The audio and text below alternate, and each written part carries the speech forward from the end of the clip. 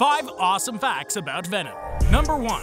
The law firm Annie works for is Michelinie and McFarlane, and this is a reference to the Venom creators, David Michelinie and Todd McFarlane. Number 2. The prison that Eddie visits is the same one that's used for the Iron Heights Penitentiary from the Arrowverse. Number 3. Anne using the Venom symbiote to save Eddie was actually a reference to the character in the comics who ended up being She-Venom. Number 4. Stan Lee's cameo in this film makes it the last film with one of his cameos during his lifetime. Number 5. During the final fight scene, Venom has streaks of red and blue, and this is a reference to his character in the animated Spider-Man series.